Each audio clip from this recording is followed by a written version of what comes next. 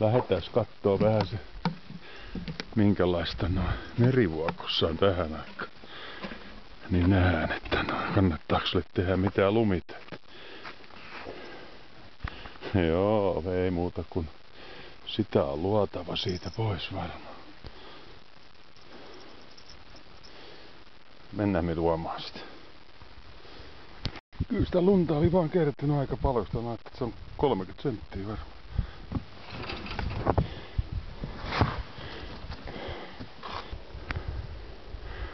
No niin, se tuli luotu.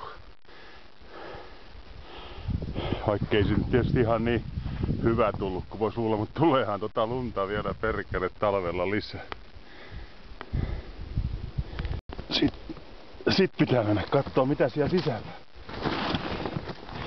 Ei ole käyty nimittäin tiedä koska, mutta voi olla, että on käyty pari kuukautta sitten viimeksi. Silloin oli vettä senkin verran, että voidaan sitä löytyä sieltä vieläkin.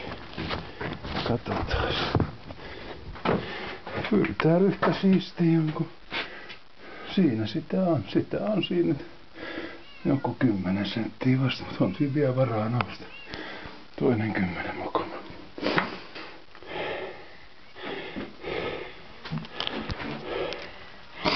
Siitä sitä kerran aletaan, kun saadaan jatko valmiiksi, niin perkele siihen pannaan uudet männyt ja lakataan ja elektroniikka unohdetaan, kone voidaan panna paikalle, mutta siinä se on. Kyllä sitä helppoa sanoa, että noin noin, tästä vielä tehdään vene, mutta kyllä se tosi juttu on, että noin noin.